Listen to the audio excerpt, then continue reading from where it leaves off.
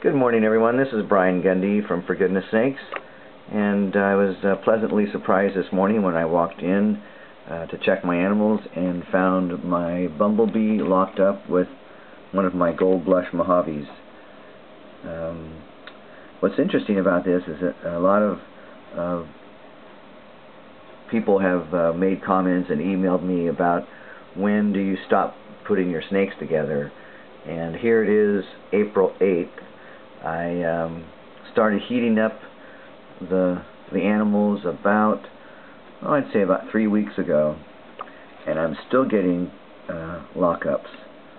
So one of the reasons why I'm taking this video is to let you guys know that you know if you've had some uh, little bit of disappointment with your season and you didn't get the lockups that you would have hoped to get and it's a little bit uh, later on in the season don't uh, don't despair because you can um, find yourself in a situation where you can still get some lockups and still get some clutches um, just by persevering.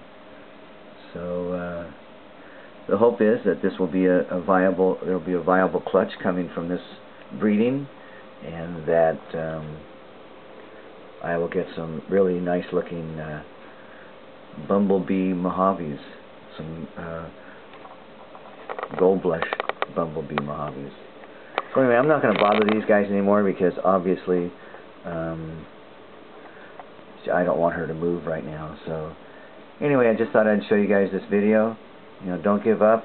Uh, it's a little late in the season, but um, you know, continue to persevere. You can, you'll get some pleasant. Uh, you'll be pleasantly surprised if you uh, if you just keep putting them together especially if you have a stud like this guy. He, this guy has cop has copulated with um, just about you know everyone I've put him with. I've never seen anything like this guy. He's he is amazing.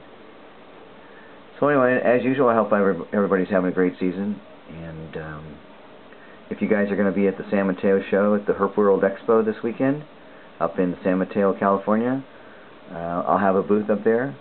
Um, please come by and say hi. All right, everyone. Take care. Again, this is Brian Gundy from For Goodness Snakes. Take care, everyone.